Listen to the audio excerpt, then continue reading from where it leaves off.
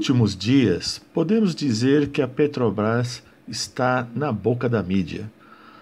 Privatizações, variação do mercado, queda na bolsa, nomeação de um presidente militar. Mas o que pouco se falou é que no dia 8 de fevereiro foi privatizada a refinaria Landulfo Alves, a refinaria mais antiga do Brasil, inaugurada em 1950, antes mesmo da criação da Petrobras e depois incorporada à própria Petrobras. A refinaria Landulfo Alves, na Bahia, em termos de capacidade produtiva, Landulfo Alves é a segunda maior do Brasil, perdendo apenas para a refinaria de Paulínia, no interior de São Paulo. Vendida por 1,65 bilhão de dólares, considerado um preço subvalorizado, o que não é novidade nos processos de privatização brasileira. Segundo alguns especialistas, o preço dela seria mais do que o dobro. E logo após a sua privatização, os funcionários entraram em greve. Ou seja, 900 trabalhadores da própria empresa e 1.700 terceirizados.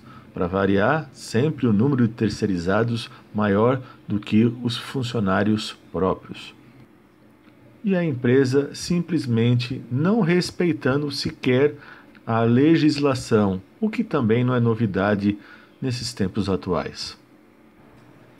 Mas todos sabem que esse assunto praticamente passou em branco, porque o que moveu o noticiário foi a perda do preço das ações da Petrobras em função da indicação de um general para sua presidência.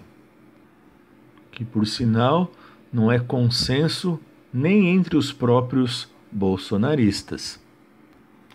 Mas o que queremos enfatizar aqui é que a lógica da Petrobras não é a soberania nacional, não é autonomia em função do desenvolvimento do país, não é a melhoria da vida dos trabalhadores da própria empresa. Não. O que importa é a a política acionária. Quanto de dividendos vão ganhar os acionistas? E isso você pode observar no próprio vídeo promocional da Petrobras. Vejam aí.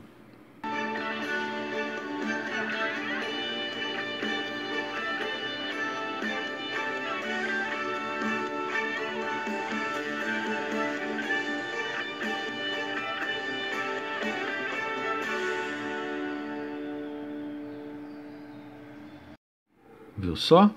Veja aí, repetindo o que eles mesmos disseram. Queremos ser a melhor empresa de energia na geração de valor para o acionista. E isso era plenamente entendido pelo até então presidente da Petrobras, Roberto Castelo Branco, que buscava, com a privatização da Landulfo Alves, ir tirando o refino das mãos dessa empresa estatal em prol das empresas privadas. Ou, como enfatizou aí a Folha de São Paulo, sair de setores considerados estratégicos. Mas quem comprou essa refinaria? Foi um investidor chamado Mudabala. Mudabala é um investidor de portfólio variado que atua em diversos setores produtivos com ativos de mais de 232 bilhões de dólares dos Emirados Árabes. Portanto, comprar a refinaria Landulfo Alves por menos de 2 bilhões é uma ninharia para esse conglomerado. Mas voltemos ao caso desta disparada dos preços dos combustíveis. Claro que são vários fatores que acabam influenciando. o preço final. Devemos ter clareza que, nesse momento, o foco da Petrobras não é a produção interna, não é o abastecimento do mercado interno, e sim a remuneração de seus acionistas. E que, desde a política do, do ex-ministro Pedro Parente, lembra dele? Já trabalhou em alguns governos.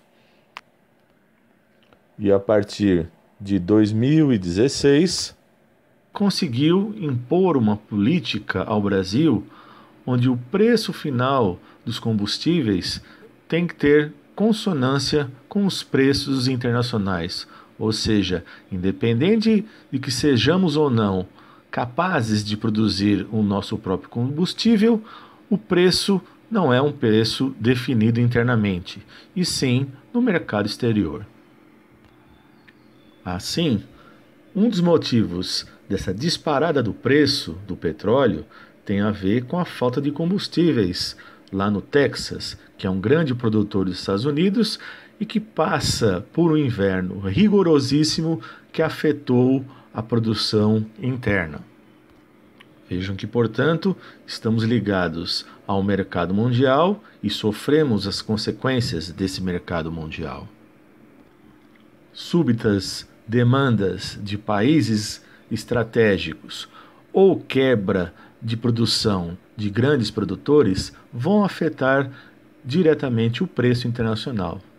Além do que, o preço do dólar também será um componente fundamental. E com o governo Bolsonaro, nós estamos acompanhando cada vez mais uma disparada do dólar. Mostra que a nossa economia está cada vez pior. Quanto mais desvalorizado o dólar, pior é a economia, mais frágil é a economia do país em relação aos países centrais. Essa dependência externa em termos de preços é a herança que nos deixou o Pedro Parente.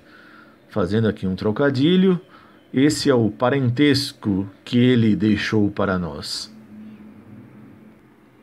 Essa é a herança maldita que estamos carregando na atualidade.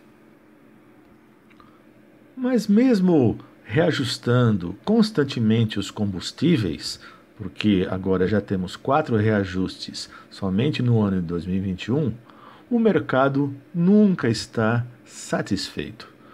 Vejam aí que, para uma dessas empresas especialistas da Bolsa de Valores, como a Guide, perceba aí em destaque que para eles estamos vivenciando aí o processo de desinvestimento que vem desde a gestão do Pedro Parente.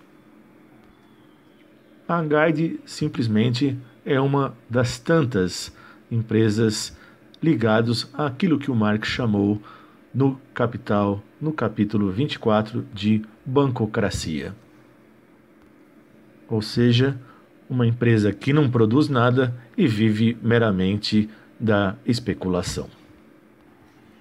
Observem aí o que a Guide dizia no dia 8 de fevereiro, exatamente no dia em que a refinaria Landulfo Alves estava sendo privatizada. É bom enfatizar que esse escritório de advocacia, especialista do setor energético, especialista do setor petrolífero, dois meses antes já dava praticamente como certo a privatização da refinaria Landulfo Alves. Também, naquele mesmo dia 8 de fevereiro, dia da privatização, Bolsonaro dizia que não iria interferir na Petrobras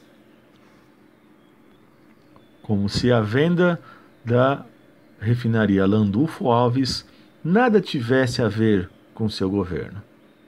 E enquanto isso, continuavam aí os reajustes dos combustíveis. O Brasil, enquanto um produtor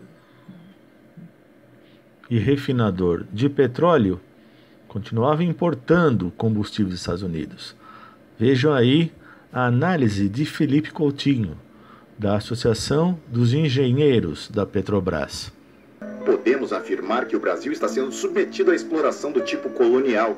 Nosso petróleo tem sido exportado em volumes recordes, cerca de 1,2 milhões de barris por dia, volume equivalente a 45% da produção de petróleo cru no país. Ou seja, quase metade do petróleo produzido no Brasil não tem sido consumido no país, está sendo exportado em grande medida por multinacionais estrangeiras.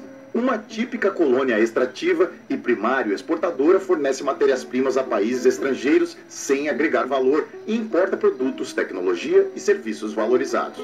Em maio de 2019, foi exportado petróleo cru do Brasil para os seguintes países: China, 51%, Estados Unidos, 21%, Uruguai, 6%, Chile, 5%, Espanha, 4% e outros 13%. Enquanto se exporta o petróleo cru do Brasil, o país importa cada vez mais seus produtos refinados. São importados cerca de 500 mil barris de derivados de petróleo por dia, a maior parte produzida nos Estados Unidos. De janeiro a julho de 2019, 82% do diesel importado pelo Brasil foi produzido nos Estados Unidos. No mesmo período, a fração da gasolina importada dos Estados Unidos se elevou para 71%, 9.874 toneladas por dia. Entre 2015 e 2019, a importação de etanol se elevou de 1.048 para 3.693 toneladas por dia. A fração importada dos Estados Unidos foi sempre acima dos 94%. Percebam, portanto, que a prioridade não é soberania, não é autonomia, não é, portanto, os trabalhadores da própria Petrobras, e sim os dividendos dos acionistas, bem como colocar a Petrobras numa lógica subordinada à lógica imperialista. Mas voltemos aos reajustes propriamente ditos, ou seja, gasolina aumentando, diesel aumentando, portanto, o governo dizendo sempre que não tem nada a ver com isso, que não lhe diz respeito. Mas, na verdade, a alta dos combustíveis tem tudo a ver com o processo de privatização da Petrobras. O governo Bolsonaro, com a equipe do Paulo Guedes, tem pretensões de vender oito refinarias em todo o Brasil, que juntas correspondem aí a 50% de todo o refino do país, ou seja, as nossas refinarias sozinhas poderiam abastecer todo o mercado interno e, portanto, determinar o preço internamente e não de acordo com o mercado internacional. Mas o que o governo Bolsonaro faz é exatamente o contrário.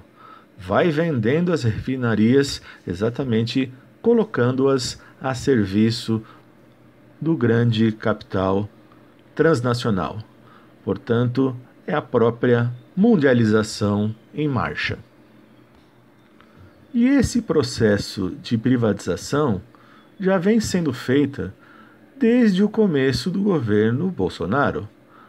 Em 2019, a BR Distribuidora foi privatizada. Ela que simplesmente é a maior distribuidora de combustível do país e muita gente também nem se deu conta disso. E, obviamente, em função da privatização, verificou-se sucateamento e fim dos direitos dos trabalhadores.